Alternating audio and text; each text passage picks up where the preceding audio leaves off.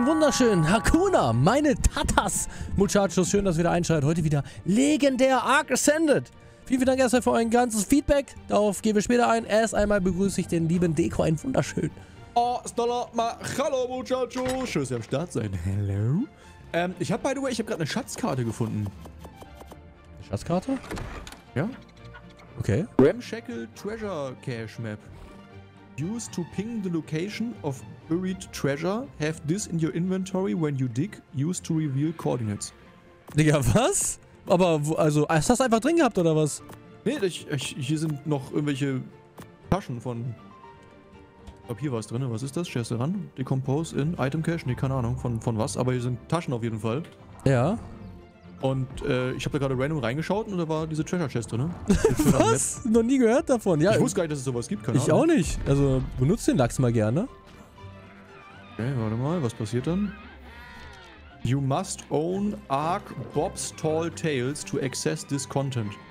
Ah, Geldmache. Das gehört, aha, da will Ark uns äh, in den Kauf des neuen DLCs reinweiten. Ja, ja, ja, ja, ja, ja, ja. Kaufen wir Und am eh, Ende let's geht das go. gar nicht hier auf der Map, sondern muss Scorched Earth zocken. Höchstwahrscheinlich. Ja, wir haben euch ja gefragt, wie lange sollen wir noch hier weitermachen? Wann sollen wir in das nächste Projekt wandern? Und da haben wir wirklich sehr, sehr viel Feedback bekommen. Viele von euch äh, meinten, wir sollen alle Bosse noch machen und äh, dann den Overseer besiegen. Der Overseer, Digga. Ich kann mich nur an einen krassen Endboss erinnern. Den haben wir richtig hardcore verkackt. Ich glaube, das war auf Aberration, dieses Tentakelmonster in der Mitte. Kannst du dich da noch dran erinnern? Haben wir im Livestream gezockt. Ganz richtig hart schwach, verkackt, ja. Alter. Richtig Ganz hart schwach. verkackt, ey. Kann das, ist das der Overseer? Der, ist das nicht so ein Tentakelmann? Ich dachte auch, das wäre der Overseer, aber wir haben ja niemals hier auf dieser Map dann den Endboss gemacht, oder? Das wäre doch komplett neu. Nee, glaube ich auch nicht. Das Ding ist, Muchachos, das ist uns ein bisschen zu repetitiv, wenn wir jetzt die ganze Zeit rumlaufen, äh, die Sachen farmen für, für den Bossfight, um da reinzukommen und dann den Bossfight eben äh, machen. Ja. Ob wir den schaffen würden, ist nochmal eine andere Geschichte.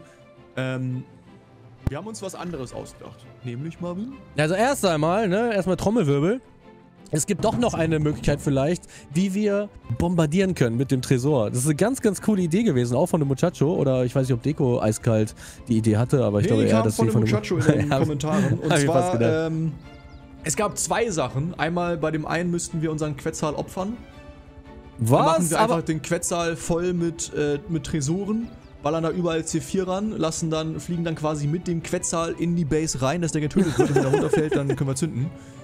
Aber er hatte auch noch eine bessere Idee, bei dem wir unseren Quetzal nicht opfern müssen, nämlich... aber noch nicht ja- verraten, noch nicht verraten. Das, das, das testen wir gleich mal, wenn du Okay. hier bist. Also das ist auch eine sehr, sehr coole Idee. Wir werden es mal auf zwei unterschiedlichen äh, Art und Weisen, werden wir es einfach mal testen. Ja, wir testen das einfach mal. Und was wir sonst noch vorhaben, also natürlich die, die Base zu raiden und was auf meiner Agenda auch noch steht, was so auch, wie ich finde, ein sehr krönender Abschluss wäre, weil wir das noch nie hatten, im Gegensatz äh, zu manchen Bossen, wäre nämlich ein äh, Titano-Tame. Und mit dem Titano-Tame könnten wir dann nochmal in Delta Space äh, reinjieten und da nochmal ein bisschen für, äh, für Spaß und äh, Spaß und Freude für die ganze Familie sorgen. Hilfe! Das klingt doch nach einem Plan, oder? Äh, Titano Tame und dann, aber meinst du seine Main Base? Ja, da einfach mal reingehen, weißt du? Weil Oder das ist meinst du die Base, die wir hier raiden wollen mit den Quetzal? Nein, nee, da mache ich, da machen wir was anderes hier. Da Äh, by machen the wir way, Muchachos, hier die, die Treasure Chest, Treasure Map. Das ist das Ding. Und wenn ich draufklicke, ob Tall Tail, schwach mich äh, links ging, geht nicht. Ähm, ähm, ähm, ähm, ja, also können wir versuchen, aber ich denke mal, der Titano dürfte da auch ziemlich schnell weggeschmolzen werden. Ich weiß nicht, wie viel HP der hat, wenn er getamed Ich ist. glaube 500.000 hatte der, den ich in so einem Video gesehen habe. Okay, 500.000 ist schon ein bisschen. Aber das Ding ist, glaube ich, eine Full-Tech-Base von Delta da. Und da steht auch so ein Karacho-Dontosaurus davor. Ja. Also ich glaube, da sehen wir trotzdem keinen Morgen. Wird auf jeden Fall abgesehen müssen wir interessant. den erstmal irgendwie hinkriegen. Ja, das stimmt. Kann man, kann man den cryon, wenn man den getamed hat? Das weiß ich eben nicht. Also normalerweise, Muchachos, äh, könnt ihr mit dem nicht rumlaufen, als wäre heute der große Wandertag, sondern äh, der wird nach kurzer Zeit auch schon sterben, weil er nichts essen kann und dementsprechend verliert er sehr viel Leben. Aber äh, wir haben ja hier hoffentlich dann die richtigen Servereinstellungen, äh, dass wir den äh, noch ein bisschen äh, benutzen können. Aber wie genau das jetzt funktioniert, ist äh, das erste Mal für uns. Also es kann auch voll in die Hose gehen, ne? Voll, voll in die hatten Hose. bis jetzt noch keinen Titano, ja. Einer hat sich gewünscht, dass wir die Unterwasserwelt hier nochmal ein bisschen äh, kennenlernen, weil wir das ja in Scorched Earth wahrscheinlich nicht haben werden. Aber, ja, ich ähm, glaube, in Scorched Earth gibt es kein Wasser. ja, Unterwasserwelt, ne, ist genauso wie in Mario damals. Das ist jetzt, es gibt, es gibt bessere Dinge, ne, sagen wir mal so. Ja, habe ich nie gespielt, weil ich leider ja kein, kein Nintendo hatte. Gedüm. Trauriger Moment. Ähm. Ja, wollen wir das mal eben vorbereiten mit dem Quetzal? Ja, also ich habe äh, den schon hier äh, hingestellt und würde das jetzt nochmal hier mit einem äh, Tresor, den ich hier einfach mal rausnecke, direkt testen wollen. So. Hä? Ach so, ich habe ja hier das Raisin. Wo ist denn der Lachs da? So, so. So. Hallo? Was? Hier kann nichts drauf? Warum nicht? Hä, wieso kann, wieso kann man hier kein Safe draufstellen? Can't place K-Vault. The structure cannot be placed on a platform. Nein. Oh, come on, Alter. Ey, come on. Das war doch hier unsere Lösung. Kann man da vielleicht noch irgendwas anderes äh, noch hinmachen? Warte mal, dann vielleicht ein Pillar oder so? Ein Pillar und da eine, ein Ceiling drauf? Ist das was anderes dann? Ich versuch's einfach mal. Glaube ich nicht. Geht nicht! Geht auch nicht? Nein. Ah. Oh, es wäre so Ah, schön komm, gewesen, ey. ey. Ja, das wäre das wär echt Okay. eine lustige Idee gewesen. Also die Idee wäre gewesen, den hier hinzustellen und dann die Foundation wegzureißen, dass der dann sozusagen Genau, runterfällt. Also das Ceiling, nicht die Foundation. Warte, was wir aber mal testen können, was passiert denn mit einem Tresor, wenn der äh, einfach runterfällt? Weil dann könnten wir ja Fortnite-mäßig uns da umbauen über die Base und das da was hinbauen. ich nicht wegen, äh, weiß ich nicht, wegen äh, Stabilität quasi, quasi, weißt du? Du kannst ja Ja. nur, ich glaube, drei, zwei oder drei Ceilings kannst du zur Seite bauen, Ah. danach musst du wieder einen Pillar bauen, oder? Aber wa was passiert mit so einem Tresor? Weißt du, weißt du, was da Ich passiert? weiß es nicht, also ich hätte jetzt gehofft, nach der Theorie halt hier das wir machen sollten, dass der einfach runterfällt halt, ne? Ja, wir werden das jetzt mal testen, Muchachos. Ich weiß nicht, ob ein, ob ein Tresor einfach so auf dem Boden liegen kann. So, blab. Wir testen das mal hier. Das, wir sind jetzt die Mythbusters, ne? Ähm, dann mache ich mal irgendwie drei, vier Wände und dann Ja, einfach ein Ceiling drauf, ne? Mach mal so drei. Noch eine Wand und ein Okay. Ceiling drauf. Ja, es muss ja schon irgendwie von, von oben runterfallen. Nicht Ja. nur, Ja, ja, nee, naja, fällt ja von oben runter. ja, aber so nicht nur so eine Etage, sondern gleich drei dann, weißt du? Und da haben wir dann Okay, zumindest willst ein bisschen zwei. Effekt haben. Ja, ja, natürlich. Ja, du kannst einfach deinen Turm hier nehmen, oder? Nein, den werden wir nicht benutzen, habe ich auch gerade schon gedacht, aber nein. Das ist mein legendärer Ja, Hexenturm. einfach von, von hier aus runterfallen lassen. Von mir. Warte, ich, ich bin doch schon fertig, Deko. Ich bin doch schon fertig. Geh ich mal hier drauf. So. Warte noch mal ein bisschen Bleib weg. Warte. Nee, nicht, dass er jetzt auf die auf die Wand drauf fällt. Ich muss ihn noch weiter außen hinstellen, weißt du? Bleib mal da stehen. Warte.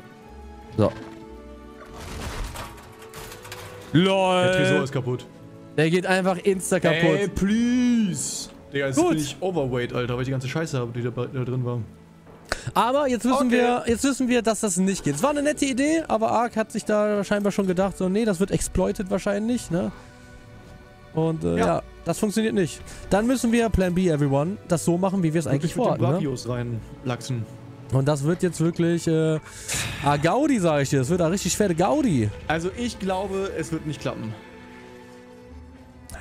Du wieder dein Pessimismus hier. Also, meine Idee ist jetzt, dass du über die Base fliegst. Dann machst du auf alle Brachios, die du vorher in deine Gruppe gehauen hast, keine Ahnung wie das geht, machst du Folgen, dass sie in die Mitte laufen, weißt du? Oder auch hier angreifen. Das funktioniert nur leider sehr selten. Und dann laufen alle in die Mitte, ich aber so in zweiter Reihe, damit ich nicht äh, targetiert werde. Und äh, gehe dann mit einem Stampfer schön drauf. Oh, ist das mir ein bisschen zu nah, Deko? Ist mir ein bisschen zu nah. Deko ist mir zu nah. Kannst du nicht von Ah. hier einfach Brachios runterschmeißen? Soll ich das mal mit dem 4000er testen? ja. Okay, dann flieg doch mal nach Hause. Ich habe hier nämlich nur den guten. Eigentlich brauchen wir dich auch noch auf dem Dino, ne? Weil du musst eigentlich auch noch mal so einen Lachs da machen wir zwei reinbrezeln. Stampfer. Ja. Die Frage ist, wie, wie geht das?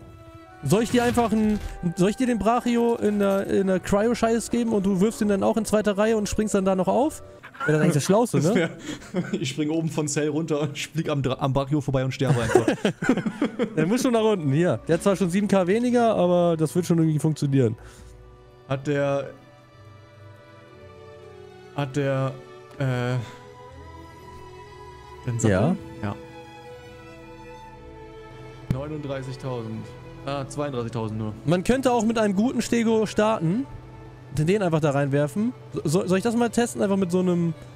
Ah, ich habe hier nur so 7000 Stegos, leider. Babyfutter habe ich hier. Ein Brontosaurus Haben wir- Babyfutter. Haben wir noch äh, gute Stegos? Ja, auf jeden Fall. Müssten doch eigentlich noch irgendwo sein, oder? Ja. Ja, Also hier haben wir... Da haben wir auch welche? Ja, der hat nur 6000 HP. Auch nur 6000 HP. Ja, die Digga, haben die haben mir- 41 Punkte, aber die haben echt wenig HP. 12, 10.000 hat der hier. 13.000 hat hier einer. Ich glaube, das, das wirkt für uns aber einfach nur wenig, weil äh, wir anderes gewohnt sind. Ich schmeiß den mal kurz raus. Du musst auf jeden Fall auf die Panzerplatte umstellen. Aber sind so doch, oder? Wir brauchen auf jeden Fall nochmal einen Sattel. Mal nachschauen. Stego. Ja, dann, dann geht's jetzt los, Muchachos, ne? Also, ähm, wir wagen es jetzt mit der Base. Hier ist noch ein zweiter guter Stego. 20 Folgen vorbereitet und jetzt geht's äh, hier rund. Muchachos, jetzt geht's wirklich. Ich glaube, wir kriegen das easy hin. Irgendwie habe ich das, das im Gefühl, dass es funktioniert. Du nicht? nicht, Digga, warum Also ich nicht? schmeiß, ich werde von oben. Am besten wäre es sogar, ich würde von oben beide Stegos reinschmeißen. Das geht natürlich nicht. nee, geht nicht. Ähm.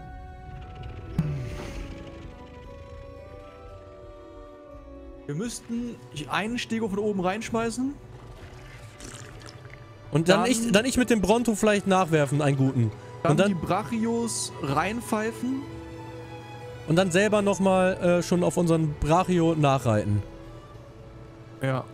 Also, wir machen das So. so. der zweite Stego muss irgendwie auch noch rein. Ah ja, wir machen das so. Unsere. Unsere Brachios ähm, haben wir beide schon draußen. In der Nähe von der Base. So nah wie es geht. Dann schmeißen wir die Stegos rein, die guten. Dann machst du Follow alle, dass sie da hinrennen oder angreifen, whatever. Die müssen das, äh, die müssen da angreifen. Und dann, äh, keine Ahnung, kannst du vielleicht deinen dein Lachs auf, auf Passive stellen und springst mit einem Fallschirm runter zu dem Brachio. An der Main Base sehe ich tatsächlich relativ wenig Tech Turrets. Okay. Da ist, glaube ich, nur einer pro Seite. Jetzt dann gibt es aber auch nur sieben, ne? Nee. Es stand doch irgendwie da, wie viel es gibt. Ja, also ich sehe ich gerade nicht. Kann ich gleich nachschauen. Aber es sind drei pro Turm Ja. und dann noch einen pro Seite an der Main Base. Also zehn mindestens. Die einzige Sache, die wir vorher jetzt nochmal testen müssen, Deko, das kannst du auch in der Nacht machen und danach können wir in den Angriff äh, starten. Dass du ein Stego von da oben runterwerfen kannst, ob das funktioniert. Okay. Oh fuck. Nein! LOL! Deko, Alter! Ey! Hm, äh, ähm, äh. Äh. Äh, ja. Äh, Digga, warum? ich war warum, ey? wohl zu nah dran. Ey, ich sag's hier auch vorher noch, ey. Okay, komm zurück. Wir müssen jetzt, da müssen wir jetzt gleich angreifen. Wir warten jetzt auf den Tag. Wir können dann- mit dem Quetzal dann. Ja, äh, wir müssen es mit dem Quetzal machen. Ach, Digga. Ich bin da 12 Trilliarden mit rüber geflogen, Alter, und nie war ich zu nah dran. Digga, jetzt müssen wir wirklich. Jetzt müssen wir alles oder nichts, ey. Digga, hat nochmal 40 Level. Oh mein Gott, den werde ich alles Digga, hier ich reinballern. Nata war von 3 Sekunden tot. Ne? ja, normal, Alter. Was denkst du? Da waren 15 Tech-Turrets, ey. Aber ja, dann heißt es jetzt, Muchachos, äh, Zähne Wir gehen da jetzt zusammenbeißen. rein, ey. Wir gehen jetzt rein. Die Stegos sind ready. Scheiße.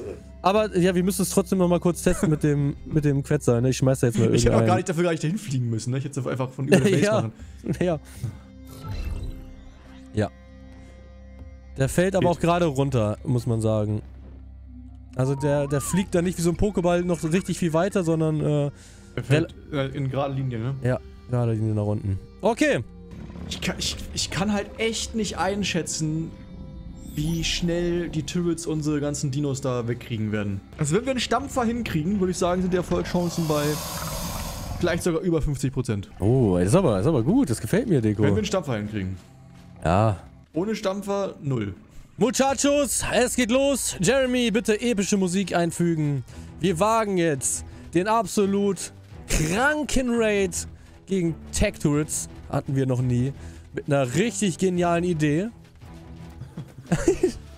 Wie gut die Idee, wie genial die Idee ist, das wird sich noch erweisen jetzt. Wir sind die Commander. Kriegen wir hin, Deko, kriegen wir hin. Ähm, ich habe Fallschirm dabei. Ich habe dabei mein Gehirn, um gleich agieren zu können. Ich habe alles dabei, um zu glänzen. Wir machen das jetzt wahr, Digga. Wir machen das jetzt wahr. Die, die Brachios stehen bereit. Ich habe mein Gehirn zu Hause gelassen. Ja, das glaube ich. Auf den Quetzal bin ich. Du längst, Digga. Ich habe Angst, dass ich Fehler mache. ich habe gerade schon einen gemacht. Ja, aber du Ähm. weißt so ungefähr, wo du abgeknallt wurdest dann. Ähm, ich habe jetzt nochmal assigned auf Move to, All Move to, also ein Bewegungsbefehl, auf Mhm. T. Das heißt, wenn ich T drücke, sollten eigentlich alle Dinos in Reichweite dann zur Base marschieren. Wenn das nicht klappt, dann müssen wir sie alle auf Follow stellen. Ja. Da hinten steht Ähm, Lucifer. Aber ich muss hier den Stego noch rausholen, den einen. und da noch Kuchen reinballern. Das ist Da eigentlich der Stego, den ich rausgepackt habe für Deko, dass ihr den testet mit der Rionata, die jetzt leider, rest in peace, im Insektenhimmel ist. Und dann ab nach Genau, ist oben, Deko. Der heilt jetzt. Oh mein Gott, ey. Schön, schön nach oben steigen, so. Genau, genau, genau, genau, genau. Oh mein Was Gott, es geht los? Digga. Es geht los, ey. Warte mal. Fallschirm auf 7, auf. Ich falsch sechs. auf 1. So, wir jetzt schon mal pfeifen? Okay, du willst loslegen, ne? Oder fliegen wir erst drüber und schmeißen die Stego? Wir schmeißen die Stegos runter, ne? Aber wobei, teste mal diesen Move 2. Dann müssen wir mal schauen, ob, ob das Das funktioniert. könnte vielleicht von der Reichweite ja schon zu, zu beschissen sein, aber ich versuch's mal. Äh.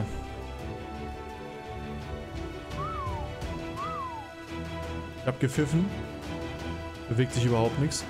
Dann mache ich mal den hier. Äh, hau dich mal drauf. Nicht, dass der jetzt da hinrennt. Attack geht auch nicht. Da müssen wir Follow machen. Okay, dann müssen wir jetzt wirklich Follow, Follow, Follow, Follow machen. Du musst das, äh, ja. Oh, shit, ey. Nur mit jedem Einzelnen wird das jetzt schwierig, ne? Oh mein Gott, fall ich runter? Wo bin ich? Wo bin ich? Du bist auf dem Flügel. Oh mein Gott, ich will, warte, warte, chill, chill, chill, Brudi, chill. Warte, warte, warte. Ich bin schnell rüber, dass du außer Reichweite bist. dass du jetzt oder fällst. Ich sehe nichts. Ja, was machst du denn? Oh mein Gott, ey, ich habe so Angst. Ja, bewegt sich. Okay, Bewegen sich beide. Hast du den links im Wald schon? ich habe keine Ahnung. Habe ich den? Ich sehe da auch keinen gerade. Ah, da hinten, ne? Ja, einer, da steht noch einer. Siehst du ihn? Sein Kopf guckt so ganz leicht aus den Bäumen raus. Ich glaube, wir sind zu weit weg. Ich schau kurz nach. Die anderen bewegen sich alle. Ein Juvenile Brachio ist da noch. Der ist nicht auf Follow. Da Okay. liegt Die Riognata-Leiche. Direkt auf dem Stein drauf. Dann nimm du vielleicht nochmal den anderen Bronto. Kannst du den noch Follow machen? Ich muss, wir, wir gehen jetzt rein. Welchen? Irgendeinen. Ja, sind ja alle. Ach scheiße, den Brach, den Lucifer wollte ich eigentlich nicht. Meinst du, das ist jetzt von der Höhe in Ordnung? Ja, das müsste eigentlich okay sein. Okay, es geht los, Deko. Bereite den Stego vor. Ja, Stego ist ausgewählt. Stego fliegt. Und dann würde ich sagen. Parachuten ist- runter, wa? Oh oh. Und ab geht's, Deko. Ja! Einer ist oben. Der Stego ist oben von dir. Aua, nein! Digga, die haben mich gefokust, ich bin tot. Bist Nein, du bist tot? Ja, Nein. die, die, die fokussen Spieler. Auf dem Fallschirm bin ich gestorben. Nein, nein, nein, nein, nein, nein, nein, nein, nein, nein, nein. Fuck, fuck, fuck. Kommst du auf den Brachio drauf? Ja, ich bin, bin gerade am überlegen, wo. Sind leider. Nein, ich, nein, sind alle tot. Oh mein Gott, das war's, Digga. Ich versuche noch zu überleben. Bin mit dem Stego jetzt runtergesprungen. Alter. Oh mein Gott, die machen echt nicht viel Damage. 22 Damage nur. Was denn? Wer Aber denn? alle, alle Brontos Achso. sind tot. Ich hab aber. Digga, die, die Stegos sind's, ne? Digga, wir, wir, mit dem Stegos können wir, könnten wir das eiskalt hinbekommen. Nein, hinten. Ja, hätten, ja. Soll ich da nochmal hingehen? Nee, ich habe ja keine. Nee, ich habe ja sonst nichts. Fuck, Alter. Nee, Hey, aber. sind alle Brachios gestorben jetzt? Und die haben es nicht mal irgendwie easy dahin geschafft. Aber, Digga, ihr kriegt immer noch Damage da hinten. Der, der tankt so heftig. Der tankt so heftig, Der Brudi. Steg und ich von oben reingeschmissen habe, oder was? Nee, den hast du auf den Quetzal draufgeworfen. Den hab, Nee, der, ich habe einen runtergeschmissen. Da haben okay. auch die, die Geschütze angefangen zu schießen. Guck mal, die schießen immer noch auf den Stego. Ja, und ja. Ja, ähm, das hat leider null funktioniert, aber auch, weil diese komischen Befehle in Ark super scheiße und random sind, muss ich mal dazu sagen. War natürlich jetzt nicht der einzige Grund, aber ähm, wir können's oldschool mit den Stegos schaffen, Dego.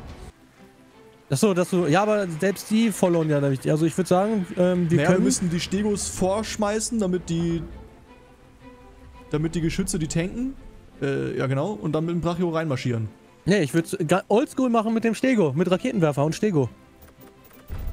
Ja, Ja, aber ich glaube, das geht überhaupt nicht. Ich glaube, wenn du auf dem Stego drauf sitzt, stirbst du wegen dem AOE-Schaden. haben wir doch sonst auch immer gemacht, oder nicht? Ja, aber nicht gegen Tech-Turrets.